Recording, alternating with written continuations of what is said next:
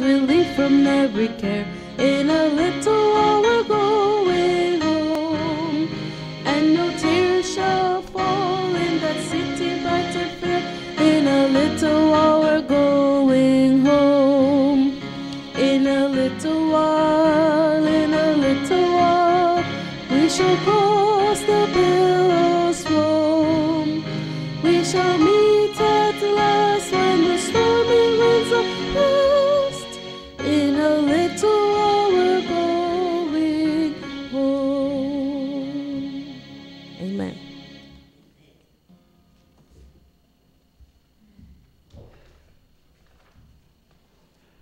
Good morning.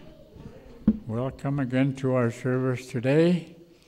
We're glad that you're here. I know some of our folks are traveling, but uh, we are we are glad that you're here today.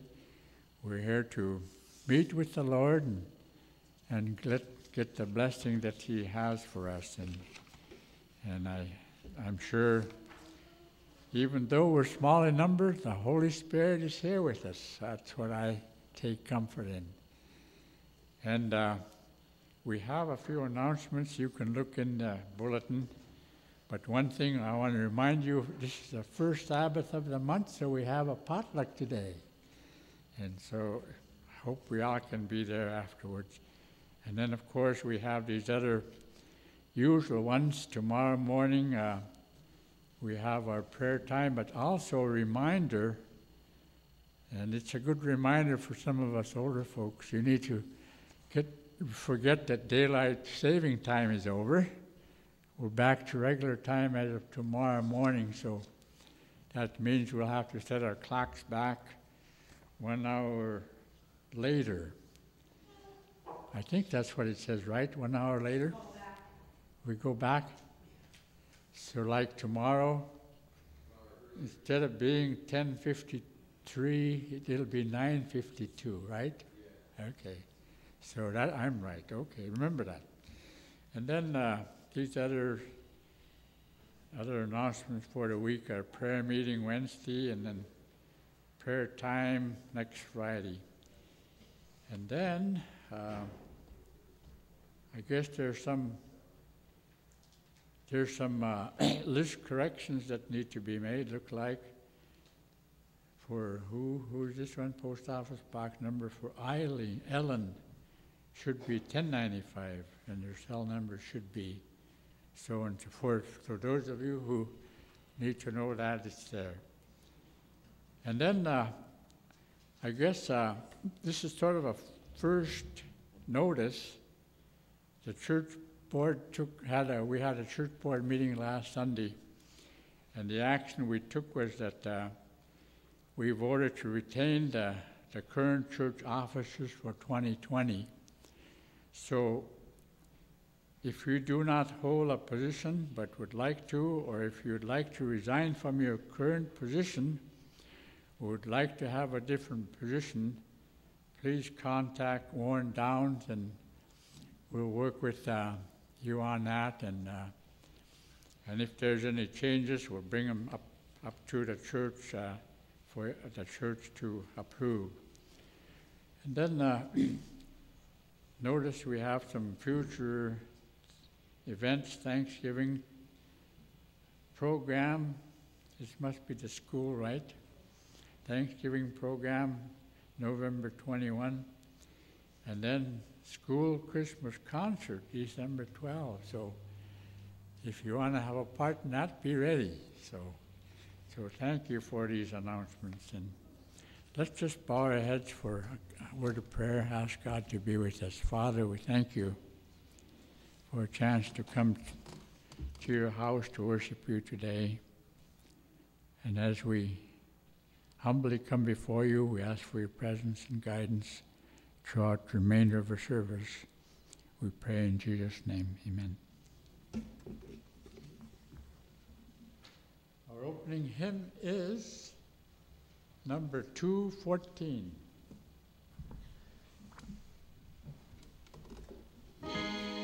Please stand.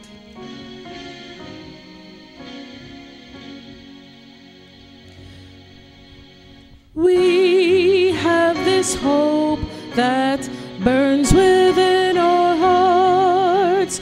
Hope in the coming of the Lord. We have this faith that Christ.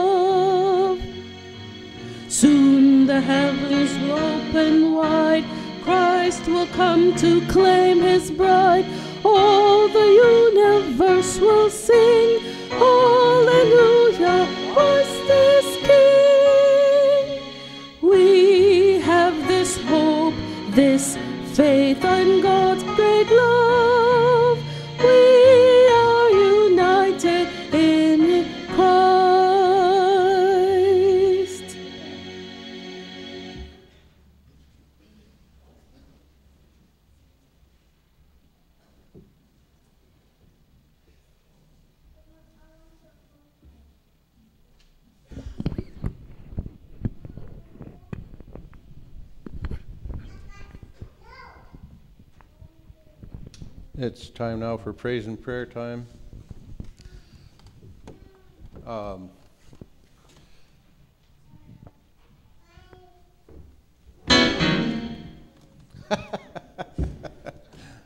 Rock on, Shirley.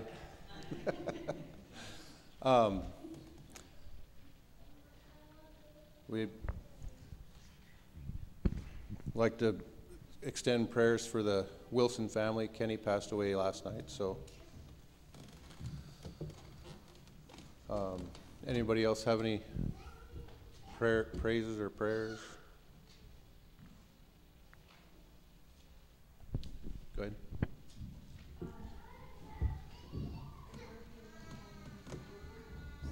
Unspoken? Yeah?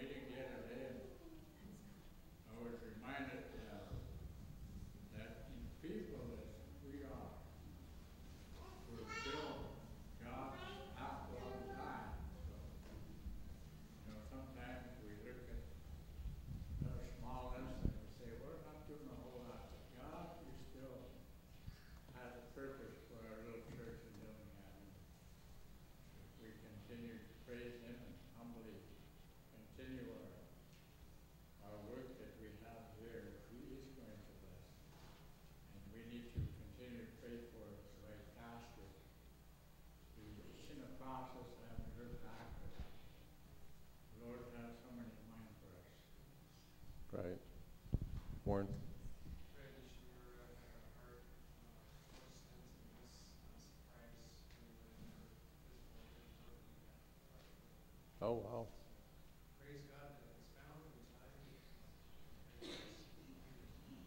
Okay.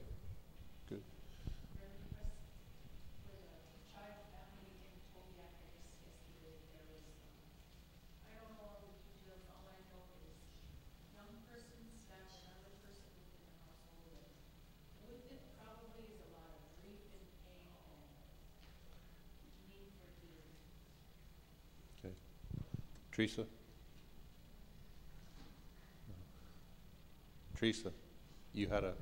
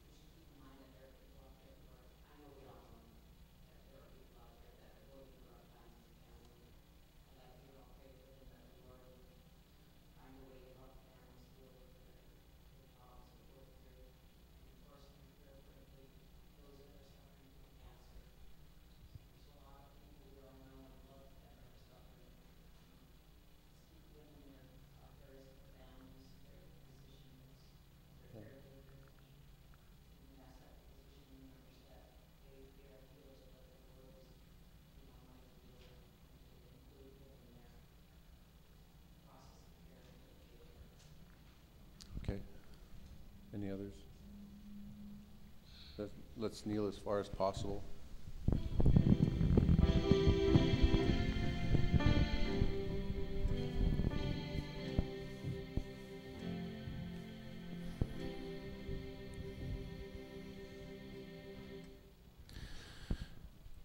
Father in heaven, we come to you on bended knee. We ask that you forgive us of our sins and hear our prayers. There's a lot of prayer requests today for healing in Togiak of the family, for healing with Kenny Wilson's family. Be with them. And for others who are suffering with cancer. If it be your will, heal them if not, save them for the resurrection and heal them then.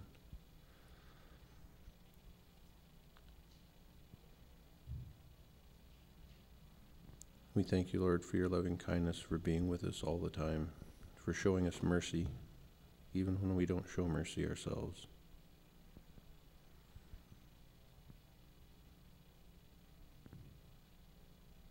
You've heard many requests, and there's some unspoken requests.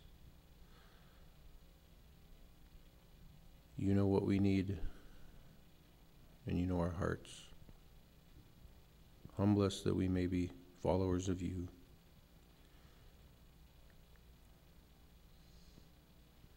Be with Joe as he gives us words of uh, words from your uh, Bible that we may understand and give discernment to all of us for our the words that he will speak to us. Thank you, pray in Jesus' name, amen.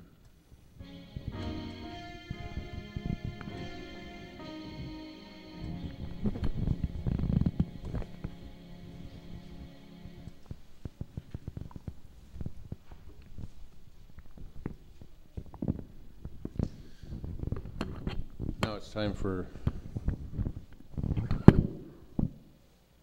offering for local church budget. Let's pray.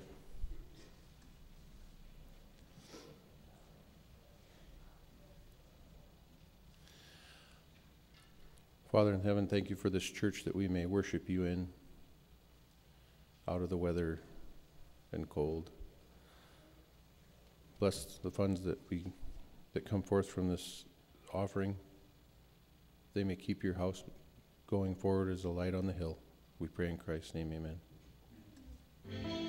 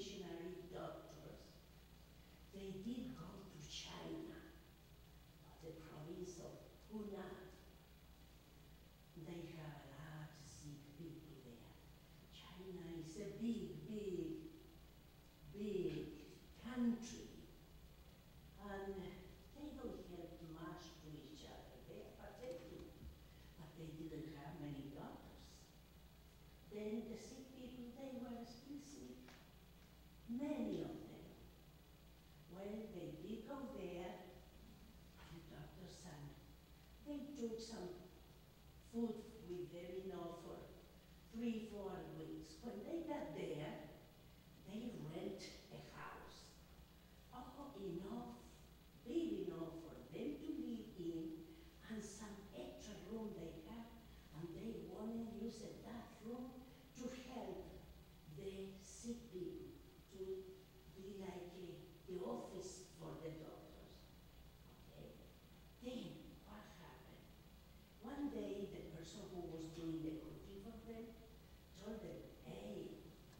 contract to my food. Well, it's okay, thank you. And we are going to do the best to get some food around here. They did go to the store, and when they went to the store, they say, we need some eggs. I'm sorry, we don't have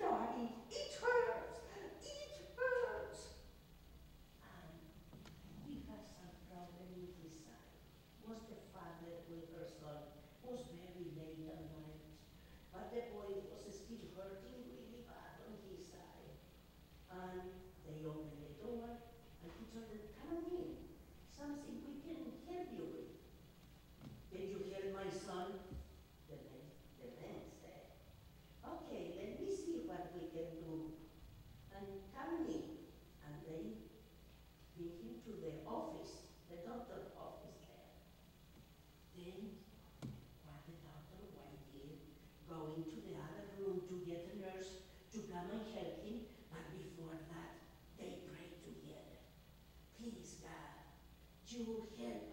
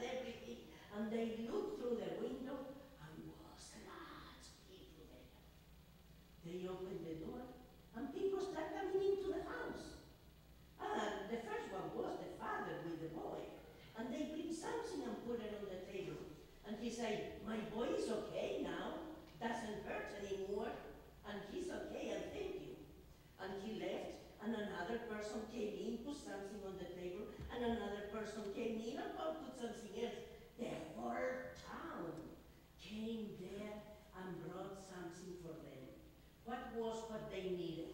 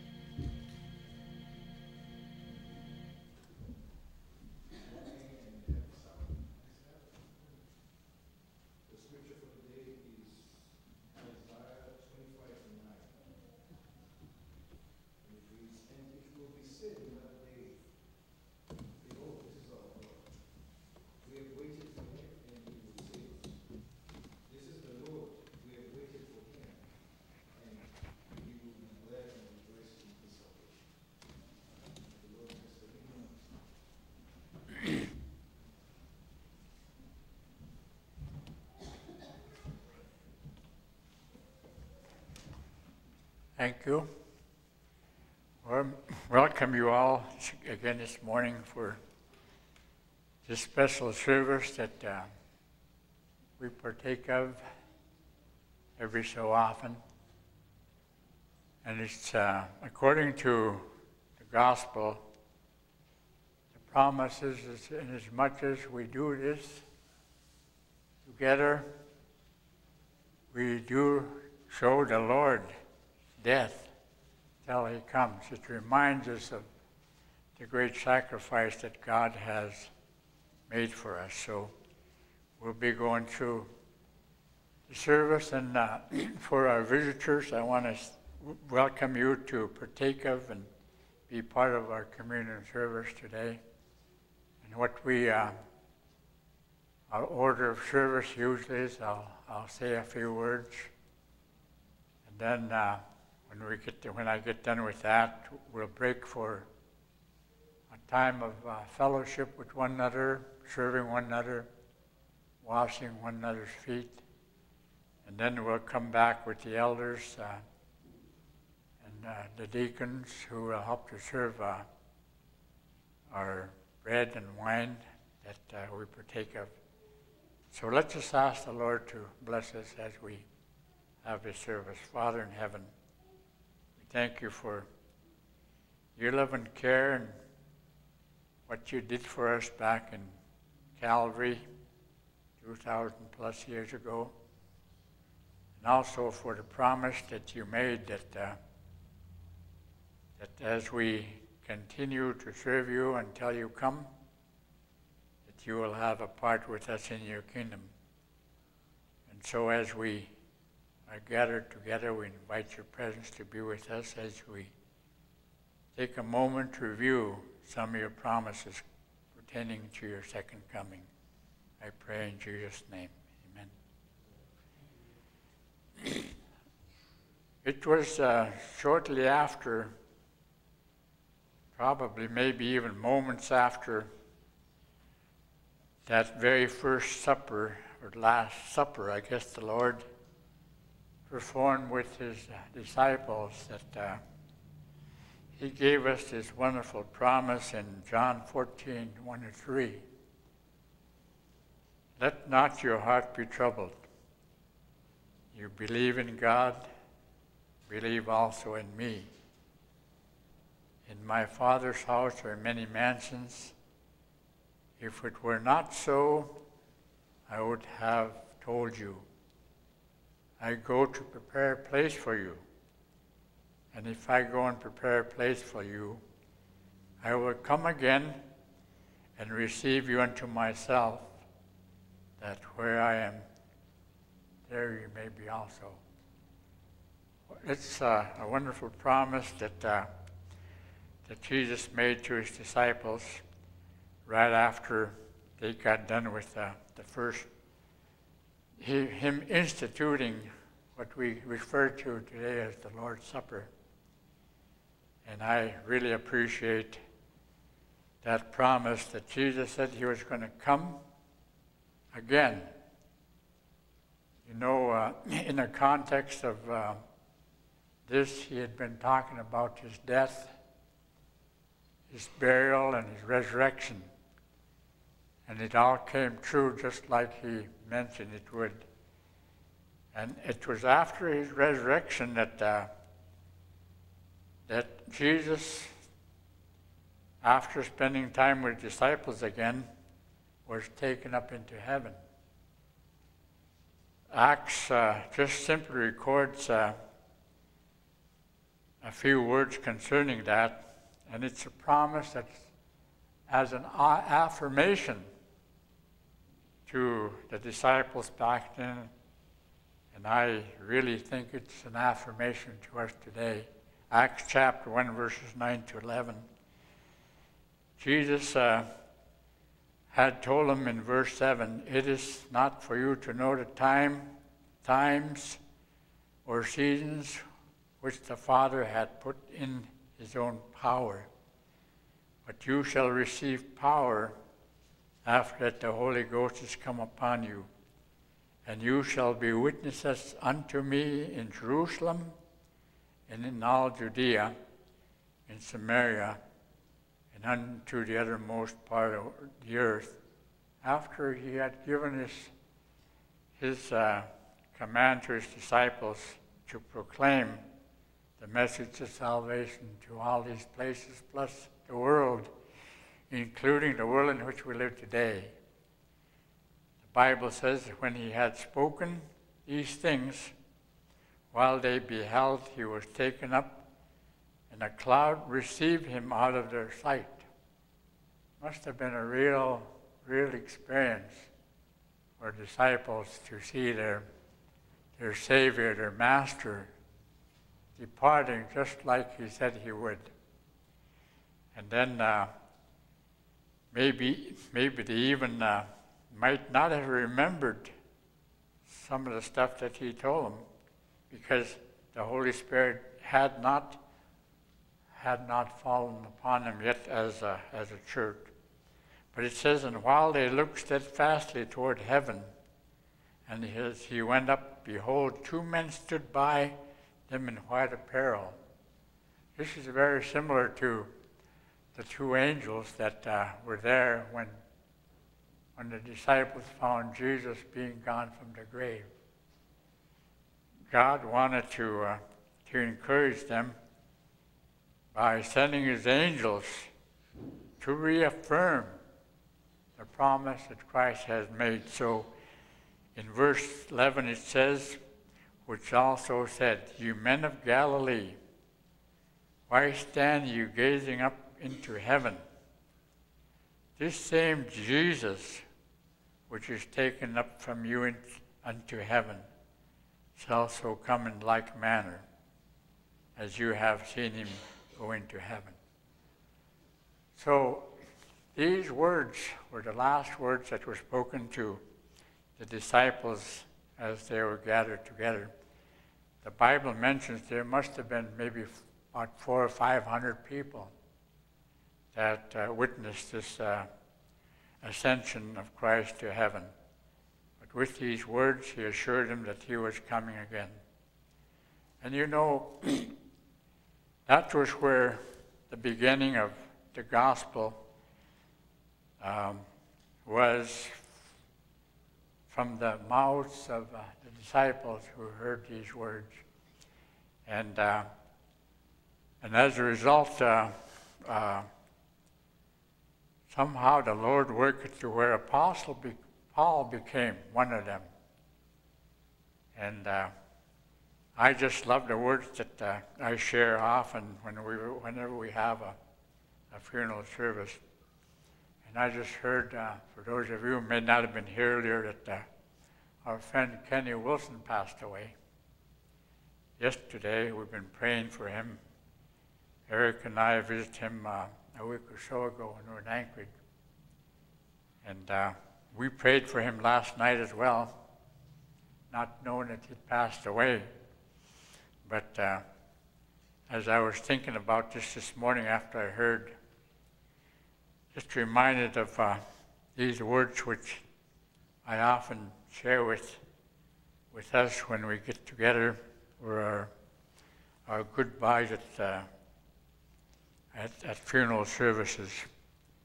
1 Thessalonians chapter 4, verse 13 to 18.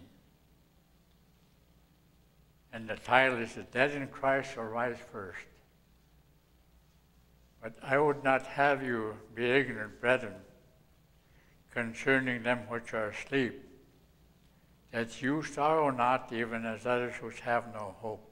We have this hope. We had that for opening song this morning. We have this hope. We have this hope of Jesus coming back. For if we believe that Jesus is died and rose again, even though them which also which sleep in Jesus will God will bring with him.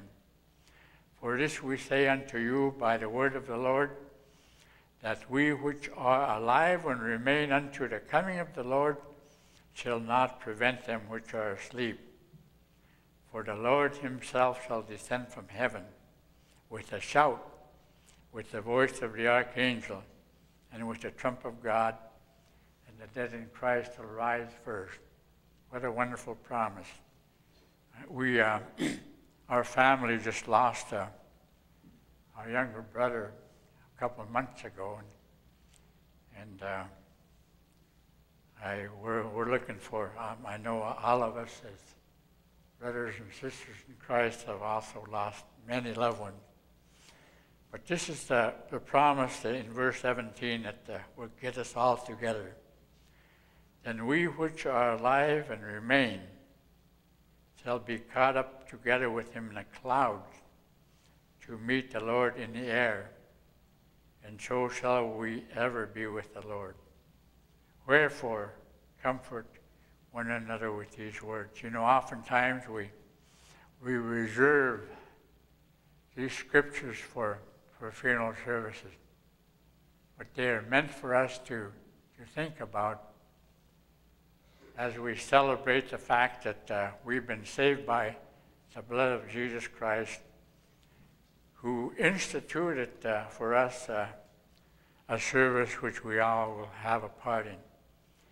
And today, instead of uh, preaching to you about that, I thought I would, I'll give us a chance to, to do it together.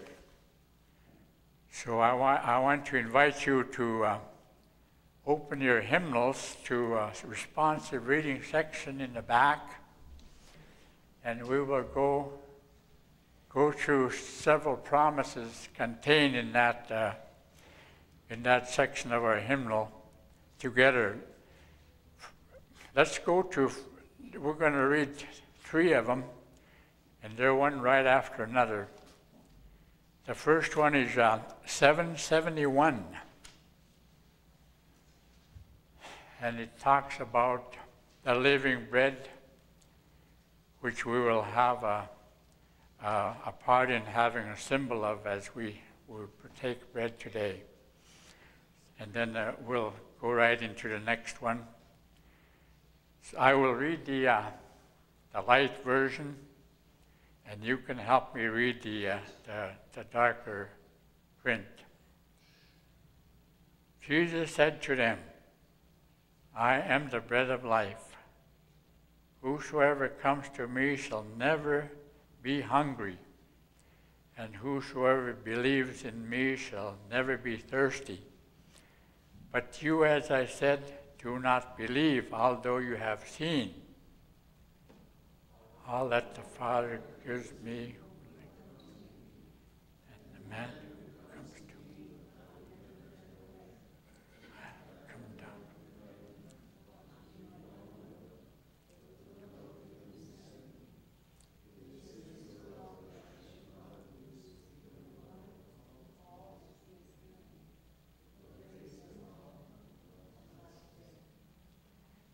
For it is my Father's will that everyone who looks upon a Son and puts his faith in him shall possess eternal life, and I will raise him up in the last day.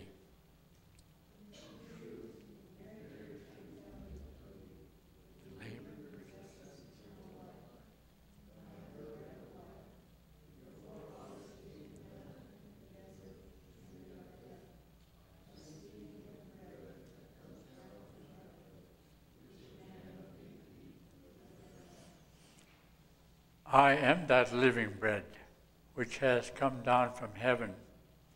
If anyone eats this bread, he shall live forever. Moreover, the bread which I will give is my own flesh. I give it for the life of the world.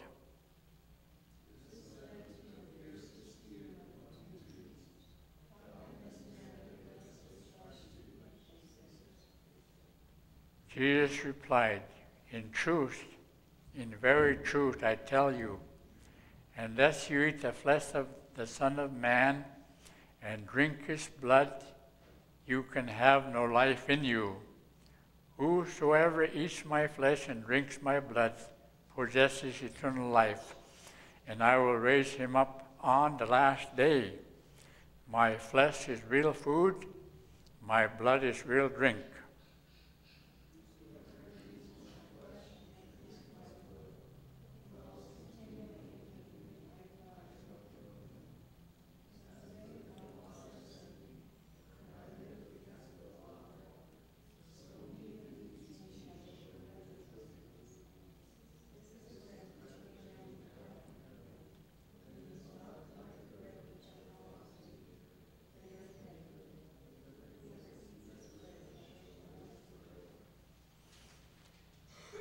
And then let's go ahead and turn it to the next one, 722. And this describes uh, seven, 772, the next one, 772.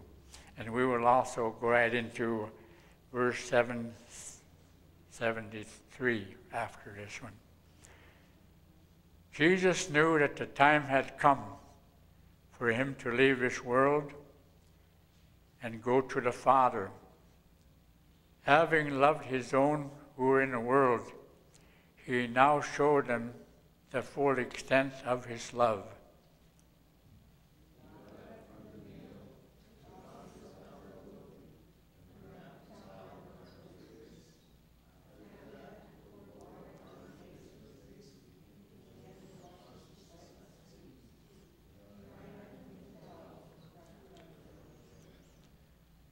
he came to Simon Peter, who used, who said to him, Lord, are you going to wash my feet? Jesus replied, You do not realize now what I am doing, but later you will understand. No, said Peter, you shall never wash my feet.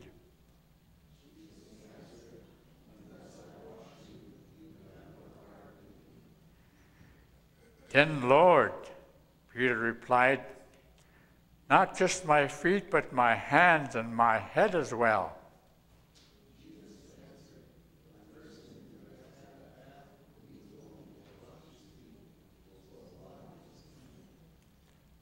When he had finished washing their feet, he put on his clothes and returned to his place.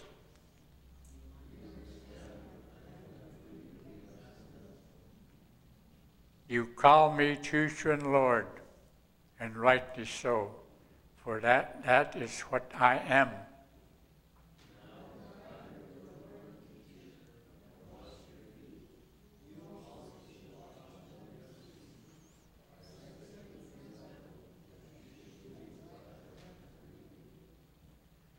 Now that you know these things, you will be blessed if you do them. Then 773, this is from Paul's writing. I received from the Lord that which I also delivered to you.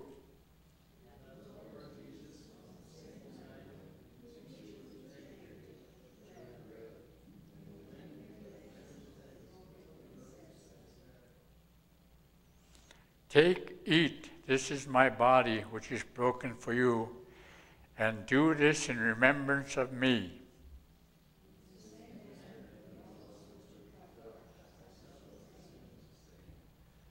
This cup is the New Testament in my blood.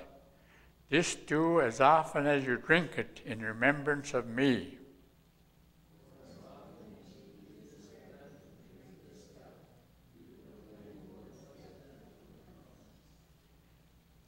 Therefore, whoever eats this bread or drinks this cup of the Lord in an unworthy manner will be guilty of the body and the blood of the Lord.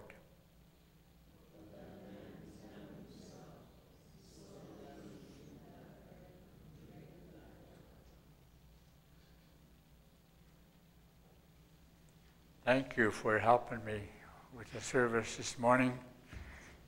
You know, our, our uh, scripture reading pretty much sums up what, uh, what the prophets and what we as church members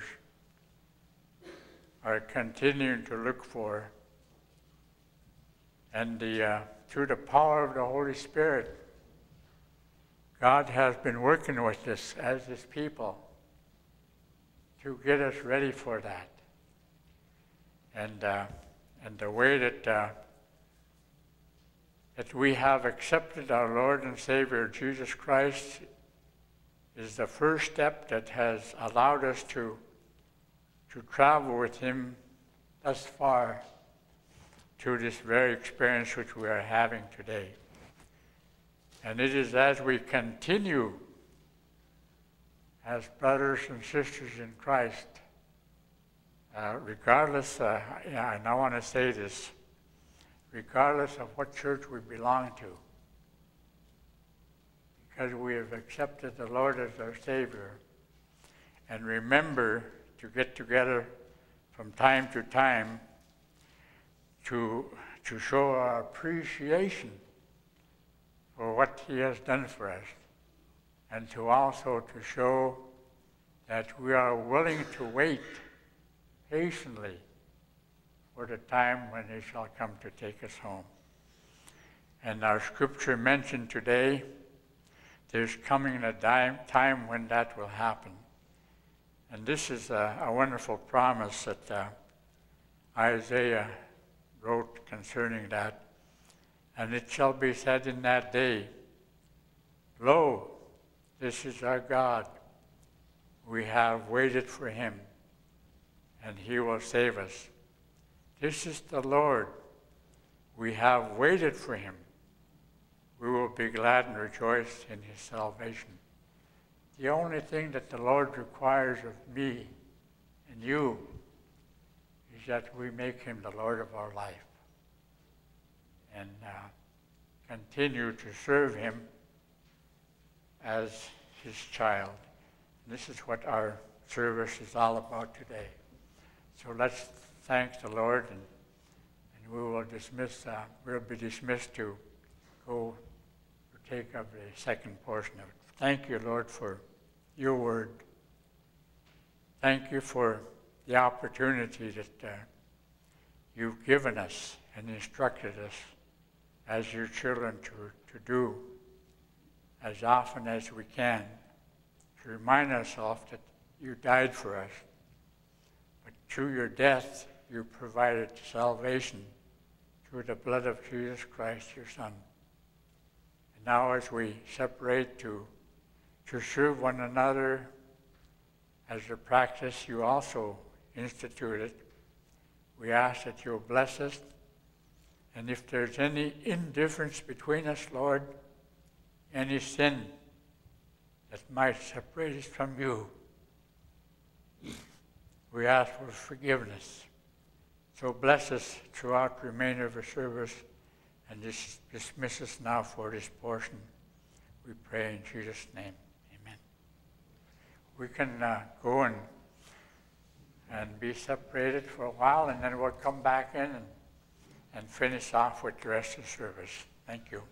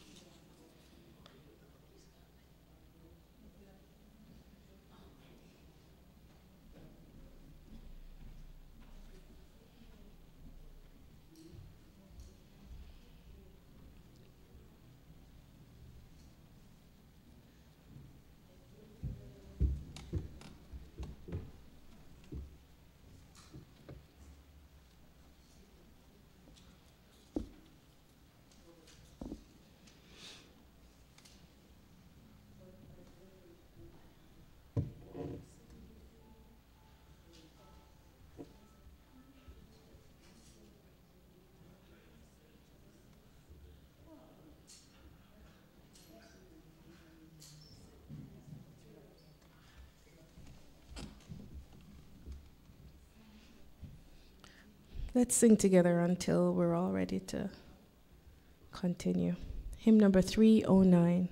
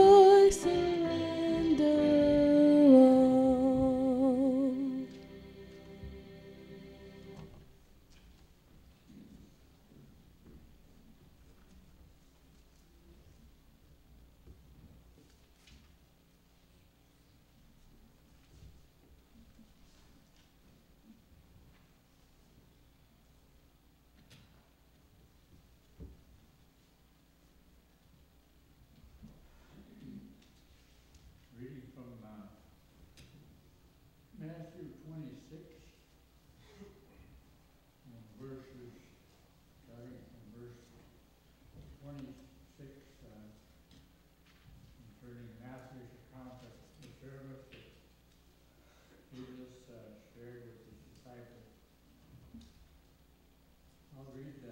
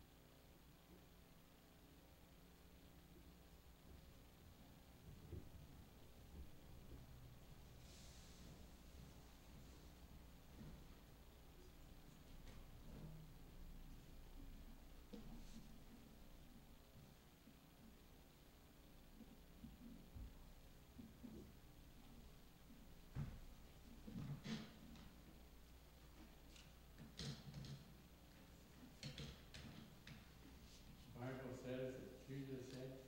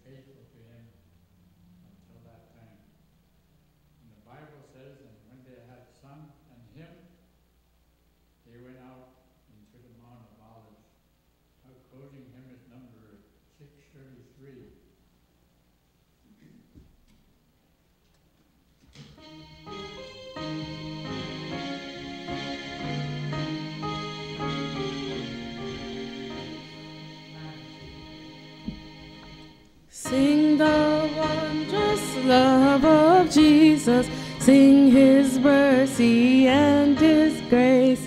In the mansions bright and blessed, he'll prepare for us a place. When we all get to heaven, what a day of rejoicing that will be.